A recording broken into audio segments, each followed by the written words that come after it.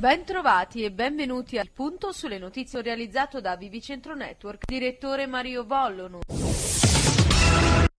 Oggi, alle 10.30, presso i locali del Commissariato di Pubblica Sicurezza Corleone, la Polizia di Stato di Palermo restituirà alla Diocesi di Monreale una preziosa tela, sottratta alla comunità corleonese nel 1970. L'opera d'arte verrà riconsegnata all'Arcivescovo di Monreale Monsignore Michele Pennisi, nell'ambito di una cerimonia che vedrà presente, tra le altre autorità, il sindaco di Corleone, Nicolò Nicolosi, il dipinto, raffigurante Maria Santissima del Lume nome, risalente al XVIII secolo e di autore ignoto, fino al giorno della sua scomparsa. Occupava uno dei due altari laterali della cappella dello Spirito Santo dell'Ospedale dei Bianchi, posta frontalmente ad una seconda tela gemella, della medesima epoca e di medesimo autore, tattora esistente e custodita presso la Chiesa Madre di Corleone. A distanza di tanti anni i poliziotti del commissariato corleonese, sotto l'egida della Procura della Repubblica presso il Tribunale di Termini Imerese, hanno recuperato la tela in buono stato di conservazione.